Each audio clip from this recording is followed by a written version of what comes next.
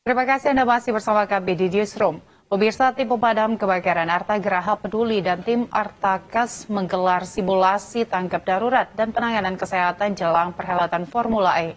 Keduanya akan mempersiapkan tugas sebagai tim keamanan dan kesehatan saat perhelatan Formula E.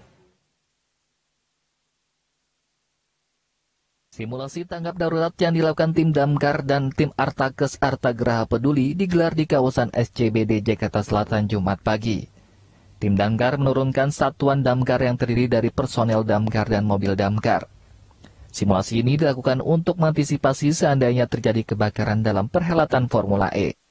Kepala Monif Keselamatan Kebakaran AGP, Ferry Ganista menjelaskan bahwa pihaknya akan menerjunkan 72 personil dan 4 unit mobil damkar, serta dua tim rescue dalam perhelatan Formula E 4 Juni mendatang.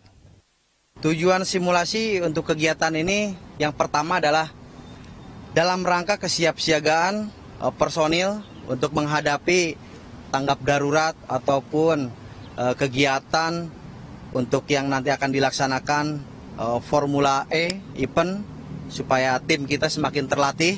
Rencana hari Sabtu kita akan melakukan simulasi gabungan dengan tim medis. Nah, ini kita latihan gabungan di SCBD, nanti kita akan di uh, Ancol.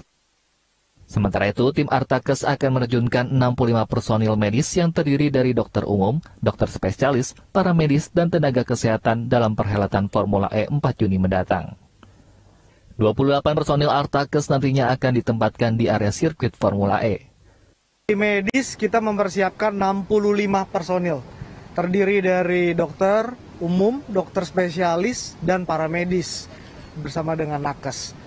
Total dari 65 ini 28-nya akan kita kerahkan untuk area sirkuit Inner Festival. Perhelatan Formula E Jakarta akan digelar 4 Juni mendatang di Ancol, Jakarta Utara. Deka Kautsar, Aditata, Cak TV.